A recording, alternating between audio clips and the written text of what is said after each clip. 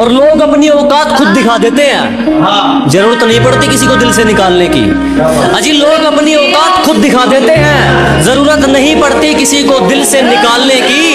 और अक्सर टूटते देखे हैं मैंने वो रिश्ते जो कभी बात करते थे एक दूसरे को संभालने की।